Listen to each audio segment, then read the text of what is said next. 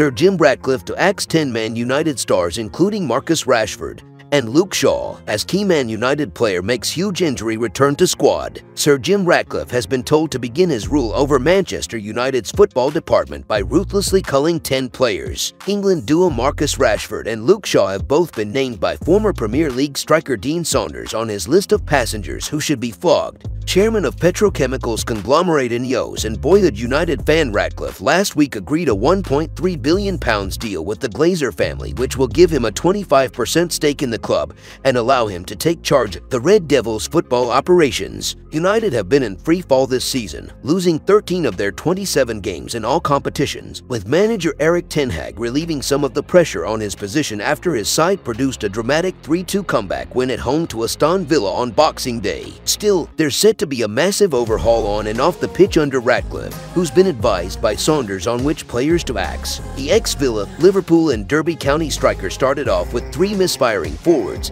and claimed on TalkSport, Rashford has been there too long. Martial, I'll drive him to the airport. Antony, drive him to the airport. Luke Shaw has been there too long. Diogo Dalot's not good enough. Rafael Varane, he's a good player obviously, but it's not worked for him. Ten Hag's tried to get rid of Varane. Jonny Evans is not good enough now, so there's the back four. Aaron Wan-Bissaka, he's tried to get rid of him. He's got rid of Fred. McTominay, the manager has obviously shown he doesn't think he's good enough, but he gets goals. He's not good enough to play for Man United, in my opinion. If you play for Man United in midfield, you've got to be one of the best players in the world in midfield. You're not playing for Crystal Palace. Saunders then named Red Devils outcast Jadon Sancho as his 10th player to join the Exodus, with the £72 million signing last featuring in August before a fallout with Ten Hag. I'm just thinking off the top of my head. Sancho, Antony, Martial, you're looking at what, 200 pounds M or something like that just for them. The 75 capped Wales International added.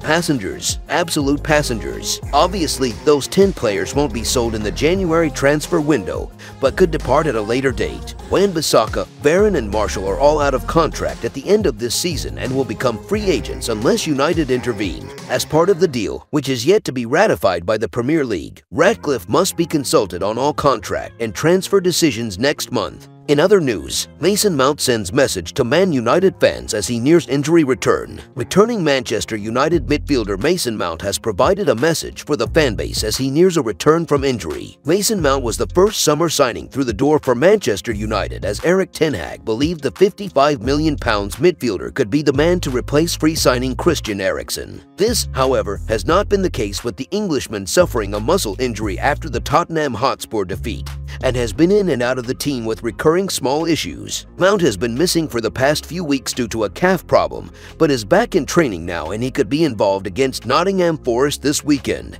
Mount's message to the fanbase. The Old Trafford fanbase have certainly been patient with the English midfielder, and the frustrating aspect of Mount's struggles this season is that when he has played, he has looked the part. Writing on Instagram, the former Chelsea midfielder had a nice message for the fans who had been supporting him this season. He said, Hope you had a great Christmas, Reds. Can't wait to be back out there with the lads. If the English midfielder is fit enough for the vital clash at the City Ground, Ten Hag will surely start the 24-year-old in the East Midlands. Mount is needed. Eriksen came in for the encounter against Unai Emery's Aston Villa and the Danish midfielder alongside United captain Bruno Fernandes and was influential, particularly in the second half. With the offside traps that Villa attempted at Old Trafford, this meant there was huge space in behind for United's dangerous attackers to exploit, and the creative duo were doing just that. Against Nuno Espirito Santos Nottingham Forest, however, these spaces in behind will not be there and the Red Devils will have to be aware of the fiery atmosphere that awaits them. Playing Eriksen, who has historically struggled when the opposition teams press him, would be a risk.